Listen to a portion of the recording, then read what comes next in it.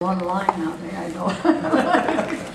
Uh, Well, no, as George always said, uh, George was going to direct most of the last ones, the new ones. uh, The year that uh, he was killed, uh, the director called and said, hey, no, we got the 26 more scripts from New York. The comic book people in New York wrote all their scripts and just sent them out here. And um, he said, um, oh, and I said, well, gosh, you know, it's going to be kind of hard, you know, what are they going to do with this new episode? But um, I don't know, I just don't remember most of them.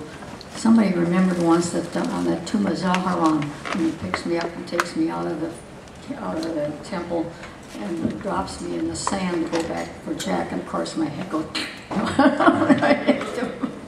I have to play it again to hear it speak, but um, no, I just um, oh he he always said no. He said don't worry about the dialogue in any of these scripts because he said the scripts are all the same, just just the names of the heavies are changed. so I thought, oh, very clever, very clever. Robert Shayne told me you can only say "Take 'em away, boys" in so many different inflections. yeah, right, right, right. Oh, yeah, that was wonderful. No, Yes, sir. did- Yes, Yes, Ms. Newell, I, uh, I think you and uh, George Reeves went on the road with a musical show later on. Yes. Can you tell us something about that? well, it was kind of a shame about that. Uh, George was very talented. He uh, spoke, um, I hate Mexican like a native, and um, he sang very well, played the bass. And so he called me one day, he said, hi, Nicole. I said, oh, hi, George, how are you? Fine. He said, how long has it been since you've sung sober?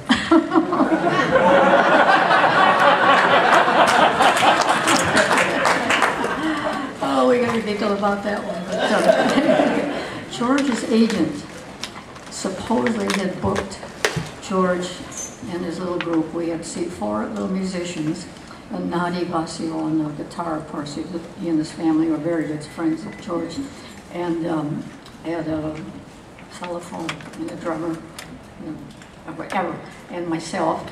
And uh, Nadi and I did a little Jarabe Tapatío, which of course was a Mexican dance. We dance around the big hat. And um, I had to teach him how. That was pretty funny. but anyway, um, we left, and according to his agent, we were booked in different cities. And we had two, oh, Gene LeBell went to, of course, who was the uh, jiu-jitsu, the um, tough guy. Taught George the wrestling moves, Yes, and he played Mr. Kryptonite. He wore a black Right. outfit Yeah. with Mr. Kryptonite across his You're chest. Right, bless his heart, yeah. So that way we went, two cars and all the instruments and our luggage and stuff. And we went to a couple of shows. We did one fair that was fine. And then the last show we did, opened up the curtains, looked out in the audience, with three people, mother, father, and the little boy.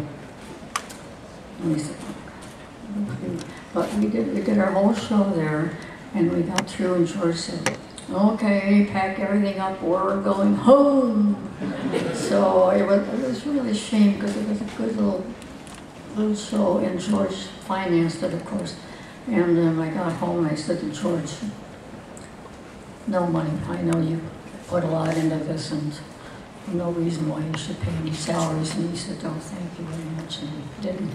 But um, it was kind of a shame because he was a good singer. But I talked to George one day and I said, George, you know, you sing in Spanish, Mexican, and uh, uh, you could do one line in that, and then I could do the same line, only interpret it for you in English.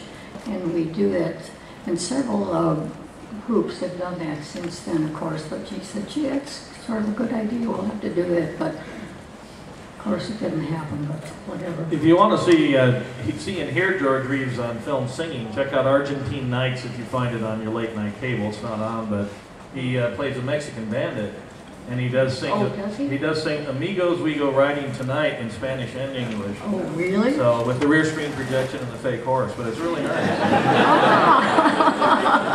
Oh, I have to see that. That sounds good. You have some more questions?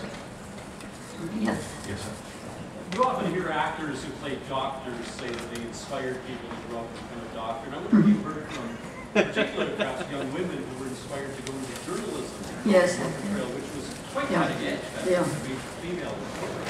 I was uh, very flattered on that when I was doing college shows.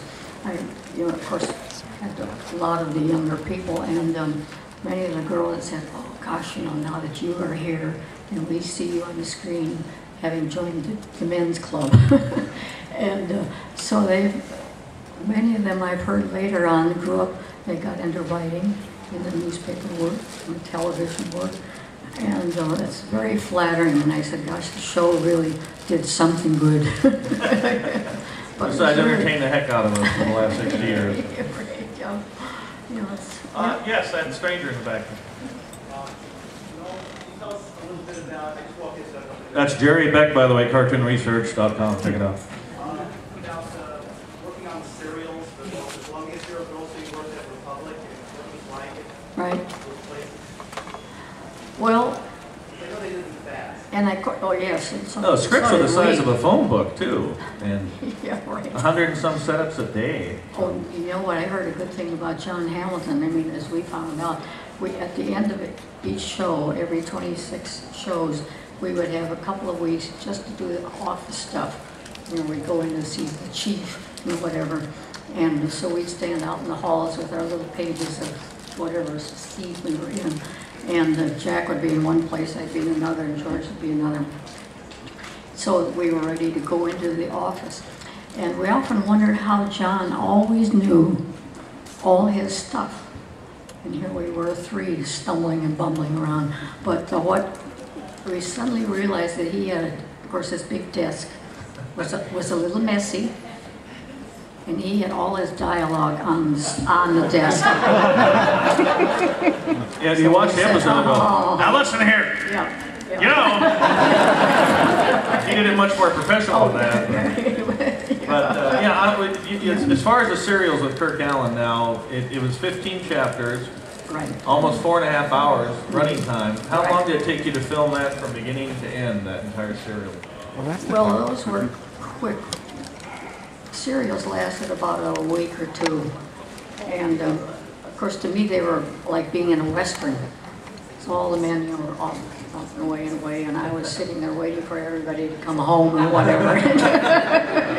Oh, yeah, funny thing, they always said, when you get a, a script from your agent that you're going to do a Western, you go to a studio, you go in the gate, go into the makeup department, into the hairdressing and the costumes, and got a little dress and a little bonnet and whatever, kiss the course and go home. Oh, You had to kiss they a lot of were horses fun. and A lot of odors, horses, yeah. so. That- They were fun. Any more questions? I got tons of stories. Yes, sir. Yes. Oh, with Ben Affleck? I have a lot of problems with Who didn't? Welcome to the club. We're forming a club online. Problems with Hollywoodland.com. Yeah, Well, there was no, no scene of joy at all. There was no. joy at all. Well, I ev- realize this. Anyway, but I noticed you weren't depicted at all on Well, I don't know, we met, um, one of the conventions, the writer and his wife, and had dinner with him, and he said, um, that he had scenes for me in the show. But the thing is, I was still alive. You You see, all those people in that show were dead. So if you didn't like what they did, you couldn't sue them. George was dead, and his lady friend and her husband. And, you know, everybody just, so that's kind of the why. But um, I was so disappointed because uh, they said, Ben said, you know, he gained weight and everything, and buckled bulked up to be like Superman. Well, George wasn't that way. And of course, George was such a gentleman, such a sweet person that um, be you know, pretty hard to copy. Yeah, and, and, and speaking of the, the happy things, if they ever do it, you know, correctly, even a documentary, you know, um, Jack Larson told me that George loved to crack cast up before takes. That was his big goal in life. So he said that whenever they, especially whenever Noel and Jack were tied to a chair or tied wherever, George would always, right before they'd say action, he'd lean around the corner of wherever he was coming in and he'd go, Super Boo's gonna rescue you. Jack Larson said he constantly had to look frightened and want to laugh every single take. Yeah, So you see yeah, an unusual expression, that's pretty much it. yeah. Your Jack is just fine. He's still alive, still around. We're neighbors out in California. And uh, I see him quite a bit, and we do, occasionally we have to do a little interview together. So we go down to Patrick's and. Yes, sir, you had a question.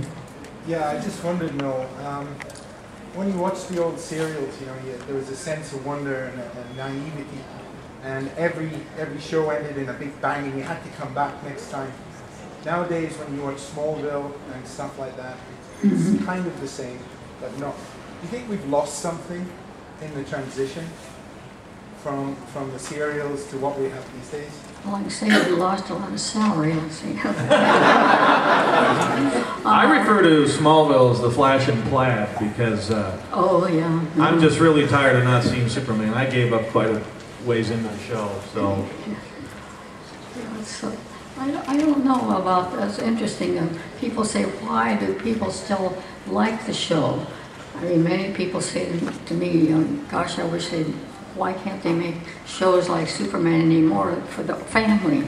You know, because um, fathers and grandfathers always had kids by the hand, come on, watch Superman. And, um, but um, it's just not to be. I think the quality of the show itself stands the test of time because so many shows are forgotten, and this show just keeps on going. Yeah, yeah, yeah. And you have great craftsmen and people that cared, and uh, oh my gosh, George Reeves, you know. Oh, yeah, we had a lot of, um, like the, um, the directors, some of them were award winners, and, uh, course, our special effect, effects man was so wonderful and so wonderful, and I ran into him once after he, we'd finished production, of course, and I said, well, you know, what are you doing now? As I know he's very wanted because he was so good. And he said, oh, he said, my wife and I have this boat, and we're just, going traveling. So he whipped out this picture, and I thought it was a picture of the Queen Mary or something. so I guess he did all right, but um, We have time for one more question. This this lady here has been waiting patiently.